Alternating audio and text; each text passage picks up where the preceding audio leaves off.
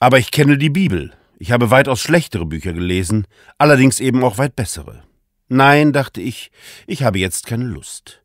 Mehrfach hatte ich Bibel- oder Glaubensverkäufern die Tür geöffnet und sie höflich auf eine Tasse Kaffee oder Tee eingeladen. Wer nach Wahrheit sucht, soll mir willkommen sein. Aber dann war es immer zäh gewesen, schwergängig.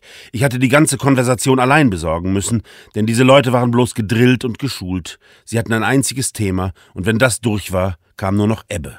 Das waren keine freien Menschen, sondern Truppenteile christlicher Türdrückerkolonnen. Fade, ohne Esprit, ohne eigenen Geist. Über Christen Witze zu machen ist zu einfach, sie bieten sich so an. Aber die Wahrheit kann man ihnen schon mal sagen. Und die heißt auch für Gläubische, wenn einer dumm ist, ist er dumm. Da hilft ihm kein Gott. Die Bibel? Heute nicht. Es ist so ein schöner Tag, sprach ich in den Apparat und hängte ein. Die Zigarre auf dem Balkon schmauchte noch, die Mauersegler segelten. Ich berichtete der Liebsten, sie fand mich viel zu freundlich und meinte, man sollte für frei umherstreifen dürfende Christen Löwen halten. Es klingelte erneut. Die sind aber hartnäckig, seufzte ich und ging dennoch zur Tür.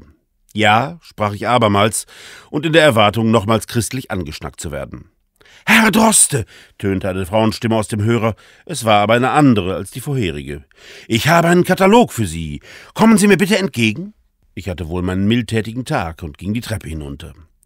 Eine Frau Mitte 50 mit Kurzhaarfrisur und Brille kam ächzend auf mich zu und drückte mir ein buntes Heft in die Hand. Firma Bofrost. Steht alles drin. Wie erreiche ich Sie nächste Woche telefonisch? Gar nicht, hörte ich mich sagen und war froh, meinen Verstand wieder am Werke zu sehen. Macht nichts, sagte die Frau. Sie melden sich einfach bei uns. Telefonnummer steht drin sprach's und verschwand, während ich eine Bofrost-Broschüre in der Hand hielt, die Treppe hochtrug und sie der Liebsten vorzeigte, ein Jäger und Sammler auf dem falschen Fuß erwischt.